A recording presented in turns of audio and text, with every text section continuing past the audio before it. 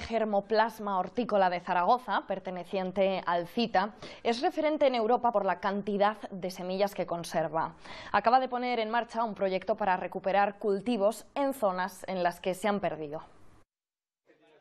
Todos ellos son embajadores de semillas. Ya tienen el diploma que les hace formar parte de un proyecto impulsado por el Banco de Germoplasma Hortícola de Zaragoza que estudia el comportamiento de distintas especies vegetales locales.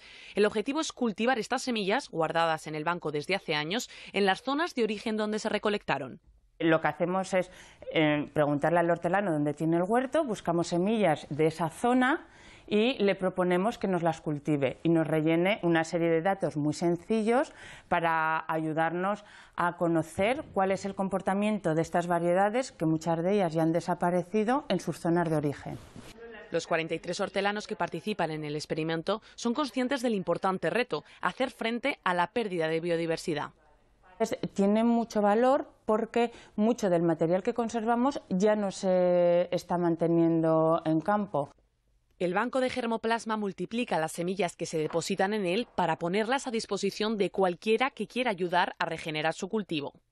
Esta es una de las cuatro cámaras que forman parte del Banco de Germoplasma Hortícola de Zaragoza. Aquí se conservan hasta 17.000 especies distintas de semillas. Estamos a 18 grados bajo cero, que es la temperatura que necesitan estas semillas para conservarse y poderlas utilizar en un futuro. Un futuro que ya es presente. José María, uno de los hortelanos que forma parte del proyecto, también guarda sus propias semillas y las dona al banco. Estos melones, estos sí que son muy viejísimos. Estos aporté al, al cita. No se pueden perder sus cultivos, dice, porque son únicos. El sabor es una cosa, y a cualquier vecino que le doy, bueno, pero esto que lleva. Gestos que tarde o temprano, como las semillas, darán sus frutos.